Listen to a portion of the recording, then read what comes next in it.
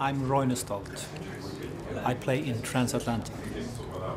This is uh, the third Transatlantic album, uh, an album we did two years ago, and uh, it's, I think, the longest piece of music I've ever been part of writing. It's almost 80 minutes long, feels all of the album. It's prog rock, as it should be, 80 minutes. We're a band with uh, two members from America, one from England, and one from Sweden.